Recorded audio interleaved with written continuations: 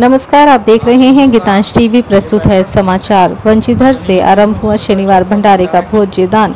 अब पलामू जिला मुख्यालय में भी शुभारंभ होगा। हर माह के शनिवार को हॉस्पिटल चौक स्थित शनि मंदिर में भंडारे का आयोजन के साथ आगाज़ 25 अगस्त से युवा पलामू के नेतृत्व में शुभारंभ होगा।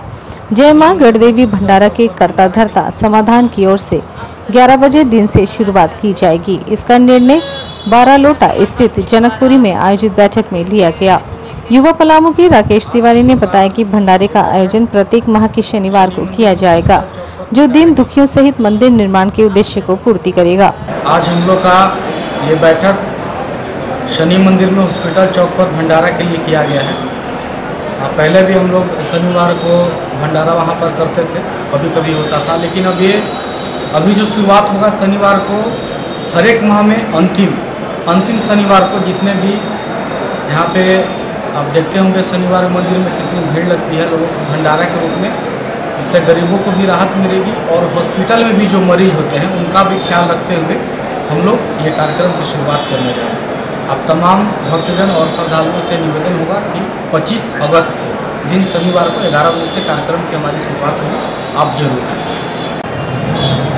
आप सभी को राधे राधे नगर बंसीधर समाधान टीम द्वारा जो प्रत्येक महीने के प्रथम शनिवार को आयोजित होता है बाबा बंसीधर के प्रांगण में भंडारे का कार्यक्रम और जय माँ गढ़देवी टीम द्वारा गढ़वा में गढ़देवी माँ के प्रांगण में भी प्रत्येक महीने की शुक्ल पक्ष की नौमी तिथि को जो भंडारा होती है, उसी के तर्ज पे हमारे मेदिनीनगर शहर में भी हर महीने के अंतिम शनिवार को भंडारे का आयोजन होना सुनिश्चित हुआ है।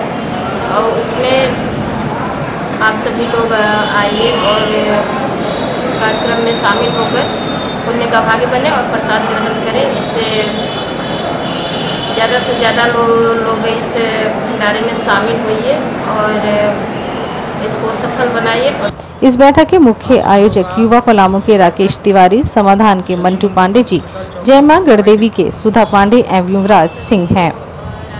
धन्यवाद।